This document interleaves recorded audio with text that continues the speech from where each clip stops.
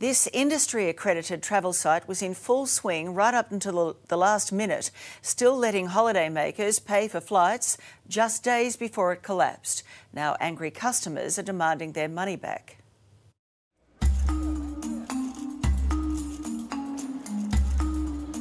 Like, why would you still take money from innocent people and then just disappear off the face of the earth? It was meant to be a trip of a lifetime, but it's just turned out to be a nightmare.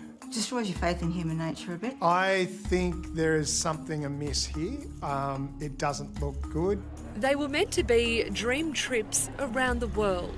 We were booking our honeymoon. We're all uni students. We don't have this, you know, large amount of money. Now those dreams are shattered with no flights or bookings and two company directors of Fly 365 who have shut up shop. I think it's outrageous that um, that there's potentially millions of dollars being lost. James Price and his partner Steve Summers booked return business class flights to Europe with Fly 365, an online booking agent.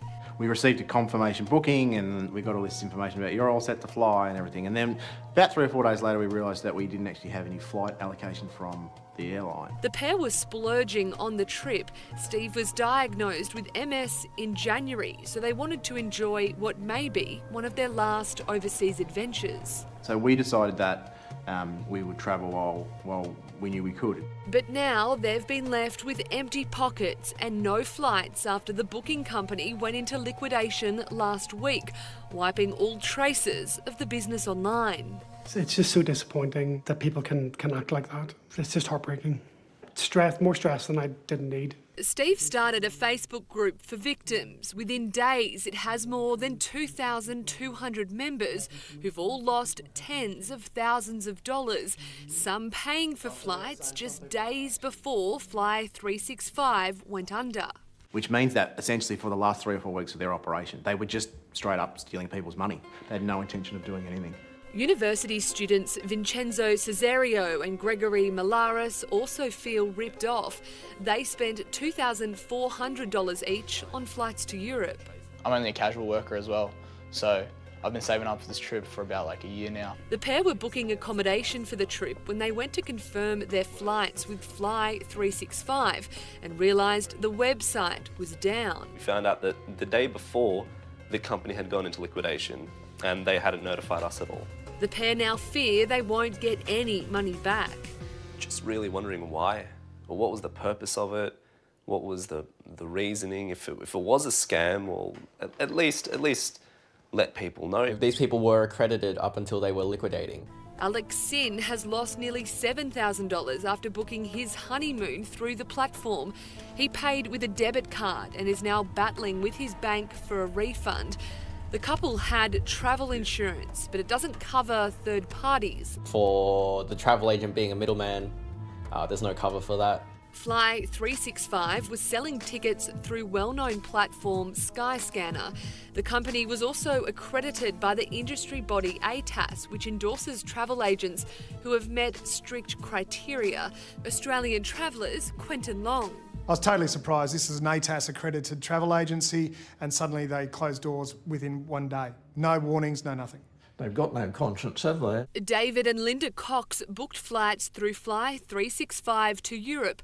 When they went to select their seats for the flight, they realised the tickets had never been purchased.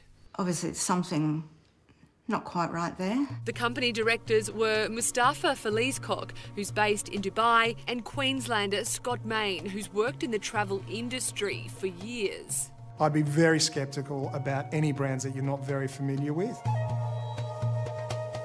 Scott Main was previously the general manager for BestJet, which collapsed in 2018 owing more than $10 million.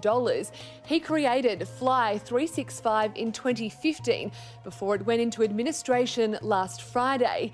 He's also the co founder of Jetstream Travel, which appears to still be operational, but they've removed any trace of Scott Main from their website. While there's no suggestion Scott Main was responsible for the collapse of BestJet or Fly 365, all attempts we made to contact him failed.